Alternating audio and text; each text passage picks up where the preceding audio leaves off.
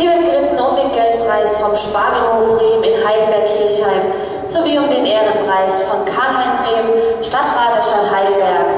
Das erste Paar ist bereits in der Bahn. Stefanie Paul vom Reit- und Fahrverein Altusried mit der 505 Horst Güms Quellfilou. Und nochmal der Hinweis an die Teilnehmer. Wir bitten dann um zügiges Ein- und Ausreiten.